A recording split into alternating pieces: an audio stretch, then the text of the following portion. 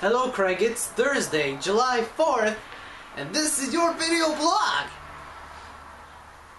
Shirt's itchy now. Uh, well, Craig, about two years ago, I made a video for you, and in that video, I suggested that we make videos like this to each other, and we'll talk about issues or subjects, or just introduce ourselves, or just respond to the other person's videos, and we'll have a video conversation over time. And I liked this idea a lot because the Vlogs brothers did it first. I wanted to copy John and Hank Green uh, because they were brothers, adult brothers who had moved out and then moved to a completely different state.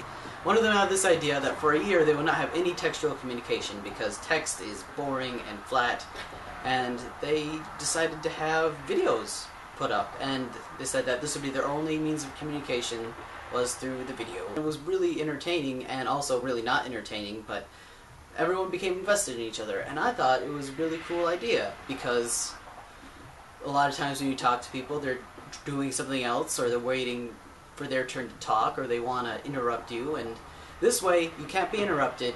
You have to think about your responses, and at least you have to think about the lighting. So I sent you this idea, but I didn't send the context that it was to copy or to do what someone else is doing. Um, maybe I did. I'll have to rewatch the video. But anyways, you shot it down because you're like, that's dumb. Why don't we just send videos to each other? And my answer to that would be because we don't put effort into giving videos to each other. We just send a video of whatever we're doing with whoever around. We're giving, we give preference to the people that we're with at the time, and which is annoying for the person on the other side of the phone, and then also for the people around you. Not that annoying, but whatever. So that was it, really. You put we put an effort into things that the public sees, like all your smoking videos. You you have a setup, you have time to do it.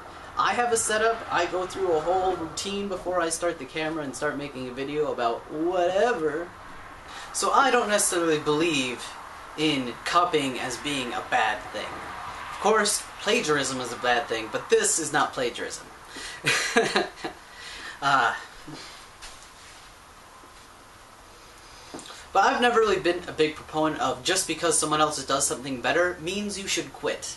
Like, there is a lot of room for people to differ. There's a lot of room for people just to come in and do stuff themselves. Just because you can get a better birdhouse if you buy one doesn't mean you shouldn't make a birdhouse. Just because Kate Upton wears a bikini fantastically means other girls shouldn't wear bikinis? No! God, I would die.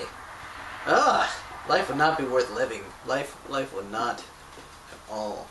Just because other people put up videos where they look grimacingly at the camera and smoke, uh, doesn't mean that you shouldn't, even though you don't even smoke. That's what's great. You don't even have to be honest in videos. You just have to make an entertaining video.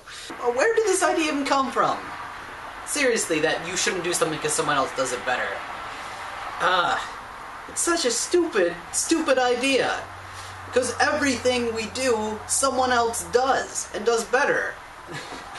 so even though the Vlog Brothers might have done the one of the first collaboration channels where they come in and they respond to each other, doesn't mean that other people can't do it too. There's a lot of other people that took up the mantle and made videos. And even before the Vlog Brothers, on one of the earlier videos there's a comment, stop trying to be like Ze Frank.